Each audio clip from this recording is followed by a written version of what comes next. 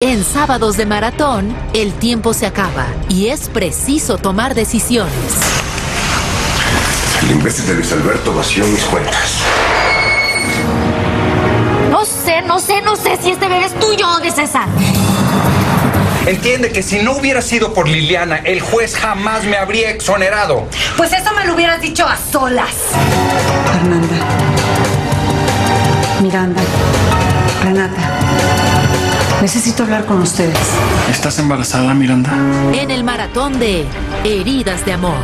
Univisión Telenovelas. Emociones que hacen historia.